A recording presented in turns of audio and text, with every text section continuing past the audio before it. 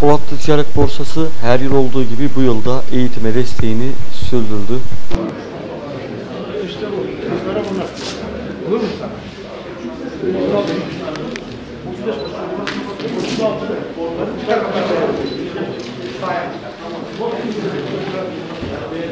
Her yıl yardım kampanyaları yapılır öğrencilerimize. Ama biz Türkiye Odalar Borsalar Birliği'ne meclis kararıyla şöyle bir bildiride bulunduk. Odalar Birliği ne kadar katkı sağlarsa kurumumuz da bir o kadar katkı sağlayacaktır.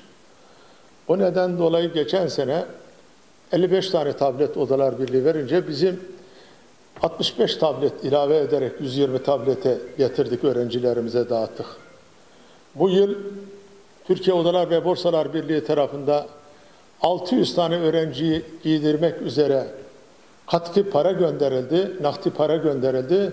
Biz 1200 öğrenciye katkıda bulunmaya karar aldık meclis olarak.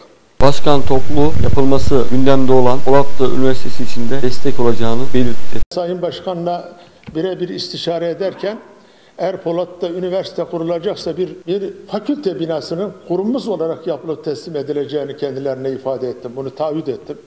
Polat Ticaret Borsası ben her fırsatta ifade ediyorum. Şehrimizin bir marka değeridir.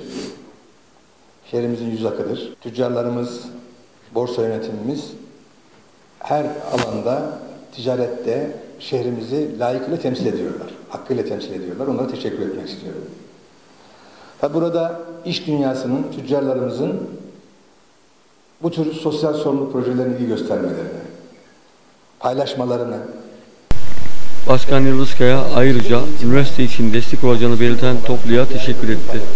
kurulması an meselesi olan, karar alınması an meselesi olan Polatlı Tarım ve Gıda Üniversitemizin kuruluşuna da katkı sağlayacaklar. Kendileri ifade etti zaten. Ben onlara teşekkür etmek istiyorum.